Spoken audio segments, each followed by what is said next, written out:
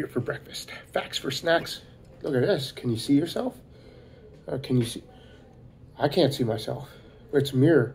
Fantom House IPA from Omnipollo. It's a brand new one. Why not? Why not have an IPA on a Sunday? Back to work tomorrow. Let's give it a shot. I never even looked at it on top. 6.1% alcohol. Same amount of alcohol that's in my favorite IPA. Life in the Clouds. Oh, that's like an orange, tangerine, melon. I'm getting melon. Mmm. Mango pineapple. Cheers.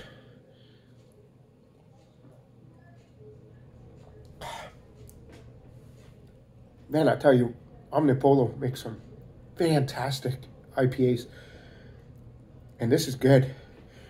it's hard to say, but that's Fantom.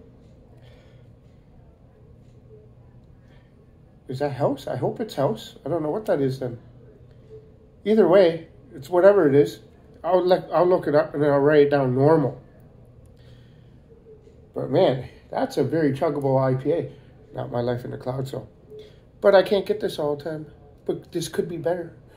Yeah, it could be, but I can't get it all the time. I could get Life in the House all the time. Life in the Clouds, I mean, that house. And that's why it's my number one beer. But this is really good. Mango pineapple, a little bit of melon, like like cantaloupe. Not honeydew, can, cantaloupe. I could sit and drink this all day. That's really good. If you could get this in the States, guys, I don't know if you can get Omnipollo. I recommend getting Omnipollo, any Omnipollo, any of them. Even last year's version that's really chunky. Just get one. These are fantastic. This is 9 out of 10, guys.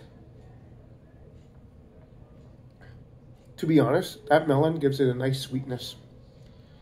That's the first time I really had a really good IPA with a nice melon melon taste to it. Cantaloupe, not honeydew. Cantaloupe. 9 out of 10. Be kind to your neighbors. Try something different. And look at yourself when you're drinking a beer in a mirror. Cheers, everyone. Try something different, guys, and oh yeah, enjoy life. Cheers.